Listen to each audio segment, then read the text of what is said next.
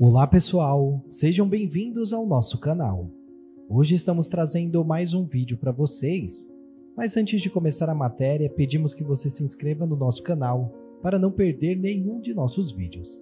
Também pedimos que ative o sininho de notificações para que o YouTube envie novos vídeos a vocês. Além disso, abaixo do vídeo, clique no botão de gostei, isso ajuda o YouTube a entender que vocês estão gostando de nossos vídeos. Sem mais enrolação, vamos com a notícia. Segundo informações apuradas pelo site de notícias G1, uma estudante de 21 anos acabou morrendo após inalar um lança-perfume em Guarujá, no litoral de São Paulo. Segundo a Secretaria de Segurança Pública, eles informaram ao site de notícias G1 que nessa quarta-feira, dia 2, foi que aconteceu. Eduarda Ribeiro Ruiz, conforme o relato de uma amiga às autoridades, começou a sentir falta de ar após o uso da droga. Ela chegou a ser socorrida, mas acabou não resistindo e vindo a óbito. Mas e você o que pensa sobre tudo isso? Comente e até os próximos vídeos.